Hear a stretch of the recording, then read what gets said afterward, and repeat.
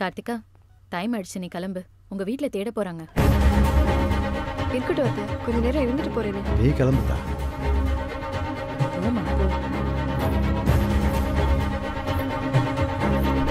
ஐயோ கண்ட வருது கண்ட வருது.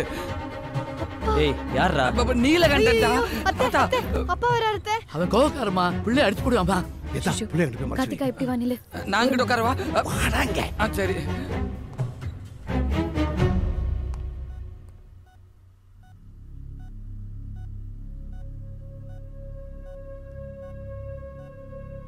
டேய் உனக்கெல்லாம் அறிவு இருக்கா அறிவு இல்லையா? மரமண்டியாடா நீ?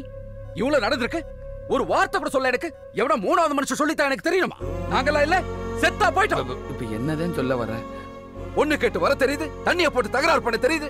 பிரச்சனைன்னா சொல்ல தெரியாதா? பெரிய கௌரவம் படிச்சவங்க. யாரா அந்த ஏழரை முக்க அவனுக்கு மட்டும் தான் ஏழரை இழுக்க தெரியுமா?